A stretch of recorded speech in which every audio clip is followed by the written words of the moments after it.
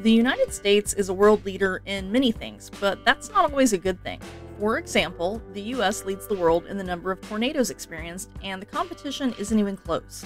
The US experiences an average of 1,200 tornadoes every year. The country with the second highest number is Canada, with only 80 to 100 per year.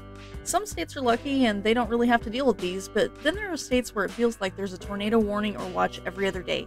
So let's see which 10 states have the most tornadoes. Number 10, Missouri. The Show Me State is not a stranger to bad weather. Five of the 25 deadliest tornadoes in American history were located in Missouri. The worst year on record was in 2006 when they recorded 102 tornadoes. However, it's usually not quite so many. Missouri averages 45 tornadoes annually. Number 10, Minnesota. Minnesota ties with Missouri with 45 tornadoes averaged each year. On Memorial Day this year, they recorded 14 confirmed tornadoes just in that one day. The National Weather Service in the Twin Cities says that they have already issued 228 tornado warnings in 2022. The year with the most tornadoes on file was 2010, when they recorded 113. Number 8, Iowa. As of May 3rd, Iowa had already recorded 35 tornadoes for 2022, according to the Daily Iowan newspaper, and they say that the worst months are yet to come. They say that this is about 25 more tornadoes than they typically average in the first few months of the year.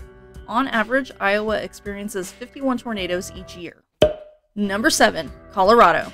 When I picture Colorado in my mind, I see mountains, snow, and skiing. I don't really think about tornadoes, but the Centennial State gets more than its fair share.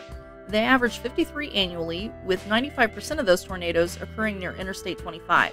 The National Weather Service says that it is due to heat and moisture in the lower atmosphere being more abundant in that area. However, that doesn't mean that tornadoes don't occur in other parts of the state. In June of 1988, a tornado hit the Denver metro area. Number 6. Illinois.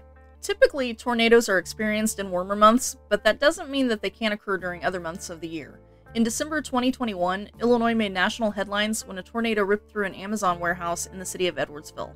Illinois has experienced two of the worst tornadoes in American history, including one that took place in my hometown in 1917.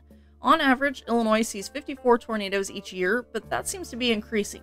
In 2021, there were 81 reported, and 2020, there were 74. Number 5, Nebraska.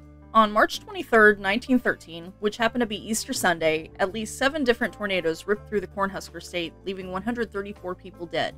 Out of those, 103 deaths were caused by just one tornado that went through Omaha, making it the 10th deadliest tornado event in the U.S. Since 1916, there have been 115 fatalities related to tornadoes reported in the state of Nebraska. On average, Nebraska sees 57 tornadoes each year. Number 4, Oklahoma. Over the course of just three days in May, there were over a dozen tornadoes spotted in Oklahoma. One of those tornadoes wiped out the school in the small community of Seminole. The Weather Service said that these tornadoes occurred as a result of a cold front that moved into the area. Sadly, this is not an uncommon event. Oklahoma averages 62 tornadoes each year. Number 3, Florida. The Sunshine State has hurricanes, flooding, alligators, crocodiles, and various other things that can get you.